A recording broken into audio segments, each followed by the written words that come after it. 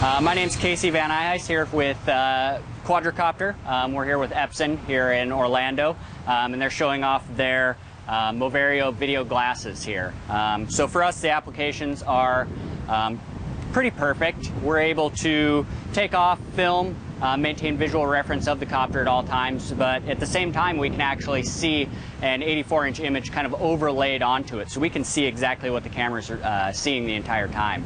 Um, nice thing is, uh, they're actually tinted, so flying around in the sky, looking at the sun, anything like that, makes it a lot easier for us. Um, but uh, it's a pretty perfect application in, in terms of what we're doing.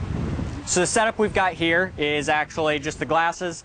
Um, it is pulling an image from the kind of Moverio module here, um, but it's basically being sent down from the copter into a receiver pack that's kind of strapped on right here and just right into the glasses right next to it.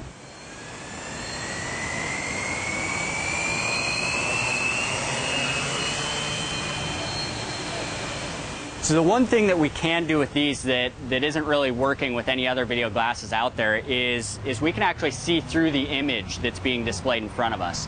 Um, so really we're not obstructed by the glasses themselves in any way. Um, they're a little less intrusive than other video glasses, so we don't have to worry about taking our eyes off of uh, kind of the, the main focus, which is keeping the copter in the air and avoiding any obstacles that might be in the way of it if anything happens to the video downlink coming from the copter, you know, a battery goes dead, you know, anything like that, we want to be able to bring it in visually, uh, which these allow us to do really well.